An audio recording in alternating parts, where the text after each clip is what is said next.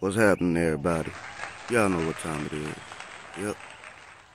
It's Mahlon Tane. Eh? And today we are looking at the okra container that we did, or shall I say that we worked on April the 1st.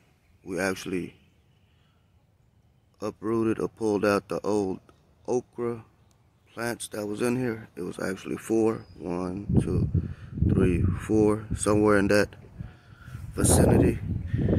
Anyway, I'll put the video link on the descriptions of this video below, okay? But anyway, I just wanted to make this quick update video and show some proof of life for those naysayers that had something negative to say.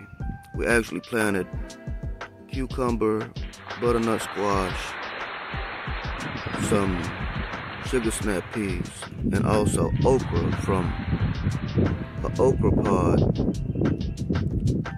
or okra that we allowed to dry up on last season's uh, plant and planted the seeds on here. That's the actual okra plant and seeds as well as those I believe. So they did sprout out. We did two okra seeds each corner. And uh I don't know what's up with the maybe that's the cucumber. But I believe these are sugar snaps. Right there. Right there. And a few days later, or a day later, I decided to dro drop some uh, royal burgundy bush beans in here also. Just to see what's going to happen. There's another sugar snap sprout right there. So, so far, we're only waiting for the cucumber, which I believe that might be one of them right here. Not gonna rush it though. Don't let it do its thing. If you ever have this happening to you, to where the seed shell won't uh, let go, or it's having a hard time letting go, you could just pick it off carefully so you don't damage the leaves. That's all you do. You want to get some tweezers or something, that's fine. Just as long as you're careful uh, to get it off.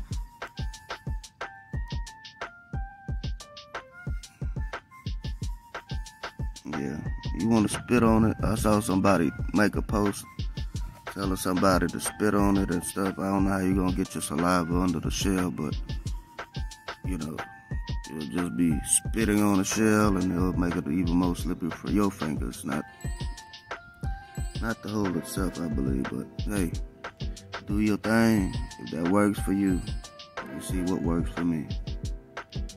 Anyway, this is just a quick update. Today is April the 9th. These actually started sprouting up.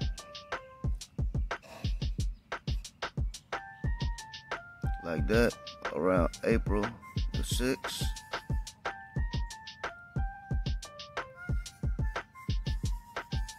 And yep, for all those naysayers, proof of life.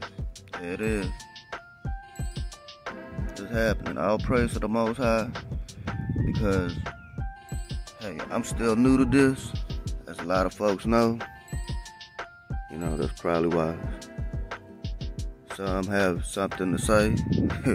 but, hey, leave your questions down on the comments, you know, conversations down on the comments. I'll be more than happy to respond as soon as I get a chance or have the time. Uh, I do get really busy but I try to stay on top of things the best I can. I mean, anyway,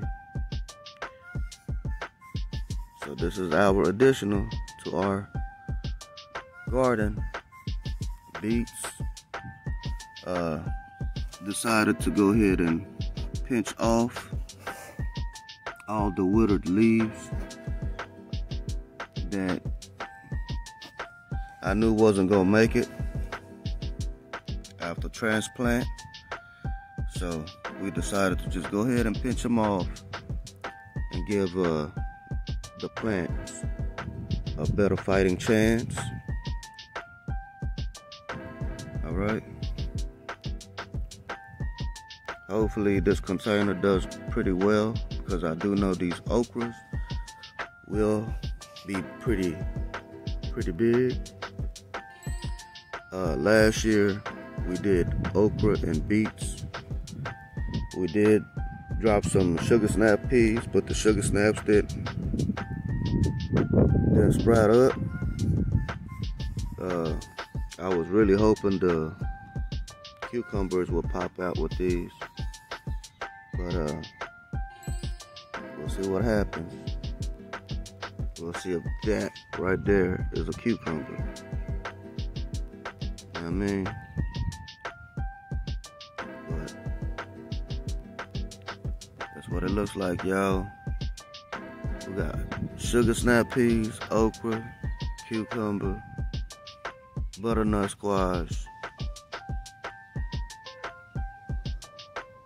You know what? That could, that might be a butternut squash. I don't know.